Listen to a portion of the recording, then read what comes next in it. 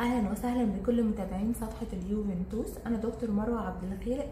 هنتكلم النهارده باختصار عن موضوع كومن قوي في عيادات الجلدية والتجميل وهو حب الشباب الاكني تقريبا محدش فينا ممرش بمرحلة من مراحل الاكني الاكني لازم نبقى عارفين إن هو أنواع وأشكال كتيرة قوي.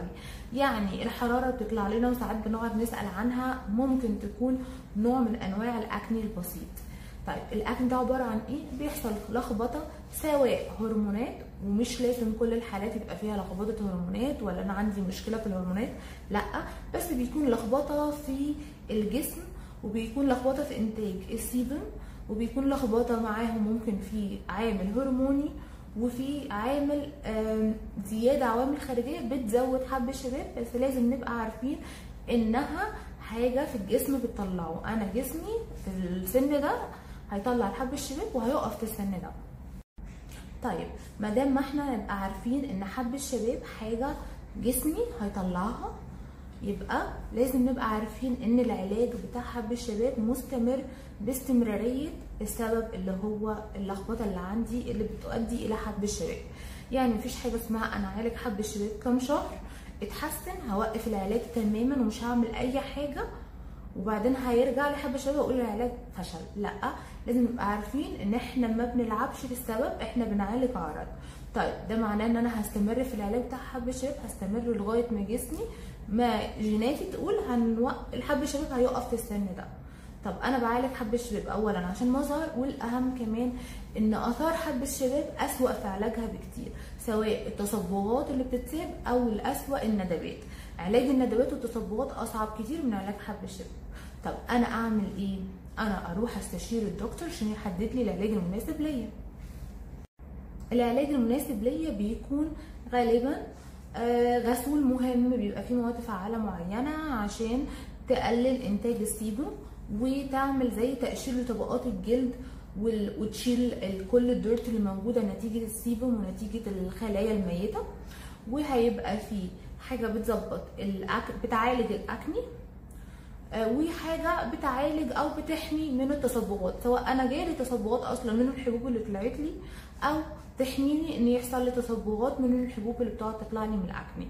فده العلاج ال home care ال topical الموضعي في حالات بتحتاج معاها اقراص بس ما نستسهلش الاقراص لأن الاقراص حاجة systemic حاجة ممكن تأثر على حاجات تانية جدا في جسمي فمحتاجة فحوصات مستمرة ولازم يبقى كل على حسب كل patient من أسبوعين لشهر في فحوصات بتتعمل عشان ناخد ال prescription بتاعها.